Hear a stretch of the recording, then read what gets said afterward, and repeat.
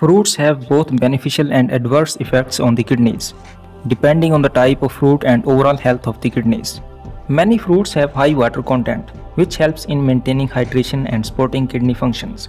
Fruits are also rich in vitamins, minerals, and antioxidants that can protect the kidneys from oxidative stress and inflammation.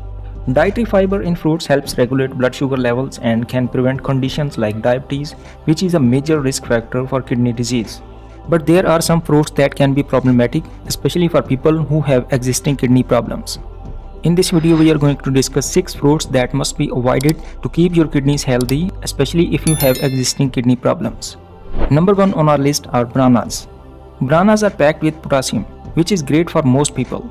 However, for those with kidney problems, too much potassium can be dangerous because the kidneys can't filter it out properly.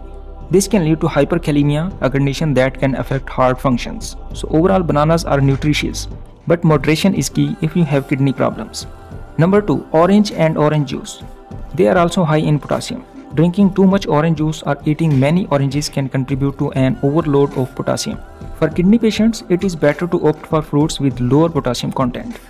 Number 3. Avocados. It is a fantastic source of healthy fats, but it is also high in potassium. Half an avocado contains around 364 mg of potassium. If you have kidney disease, it is better to limit your intake of avocados. Number 4. Apricots. They are rich in vitamins, but dried apricots are especially high in potassium. Just half a cup of dried apricots can have around 750 mg of potassium. If you love eating apricots, try to eat fresh ones in small quantities. Number 5. Kiwis. This small fruit contains high amounts of potassium. One medium kiwi has about 215 mg of potassium. It is delicious fruit, but you have to limit this fruit if you have kidney problems. Number 6 on our list is pomegranate. These are high in potassium and also contain significant amounts of phosphorus.